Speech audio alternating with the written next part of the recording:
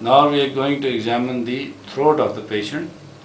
In examination of the throat of the patient, we must examine the oral cavity, oropharynx, and then the larynx of the patient.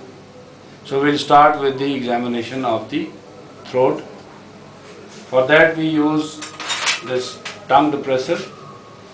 The tongue depressor has got this curve so that when we are putting the tongue depressor on the tongue, the hand is not in our way. We can see the oral cavity clearly. If it is straight, then the hand is coming in our way. This thing, the hand is not coming in the way of the examination. Then for posterior laryngoscopy, uh, indirect laryngoscopy, we use the indirect laryngoscope mirror and we use the this uh, cotton uh, square gauze.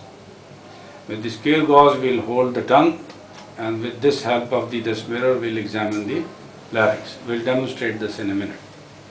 So we'll start with the examination of the oral cavity and oropharynx. We'll focus the light on the patient's face and mouth. Now we'll ex- take the tongue depressor. We'll instruct the patient कि आपका गला देखना मुंह खोल लीजिएगा then with the help of tongue depressor we'll depress the anterior two thirds of tongue. Before that we will examine the cheeks, the vestibule, the gums, the teeth, the side of the tongue, margins of the tongue, and then we will examine the oropharynx, the hard palate, soft palate, posterior pharyngeal wall, and the lateral walls of the oropharynx. The lateral wall of the oropharynx has got palatine tonsils. The roof is formed by the soft palate. The posterior wall is visible at the back. In the end, we'll ask the patient to say ah, bolo ah. Uh, By when the patient says ah, we check the movement of the soft palate. Once we have examined the oral cavity and the oropharynx, then we will examine the larynx of the patient.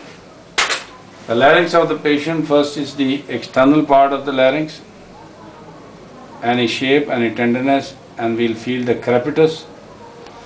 Then with the help of the indirect laryngoscope mirror, examine of the larynx, first the external part of the larynx, this is the Adam's apple, the cricoid cartilage, this is the cricothyroid membrane. We do cricothyroidotomy in this place. We'll look for the laryngeal crepitus. There will be crepitus which we'll feel with our fingers. Then we will go inside to see the larynx from inside which is called indirect laryngoscopy. We'll instruct the patient to open the mouth, bring the tongue out, ज़ुबान बाहर निकालेंगे, वो मैं इससे पकड़ लूँगा।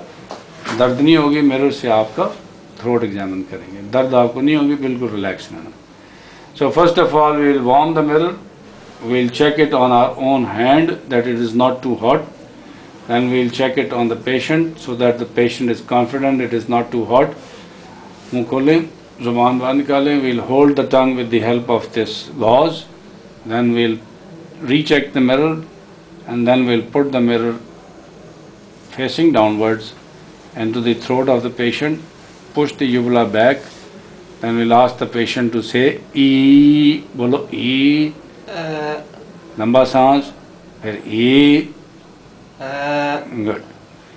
So once we have done this thing, by asking the patient to say E, we see the movements of the vocal cord, any pathology on the vocal cord, and any other inflammation swelling which is visible on indirect laryngoscopy can be seen now don't forget in the end you must examine the lymph nodes of the neck which is the most important part of examination of the throat.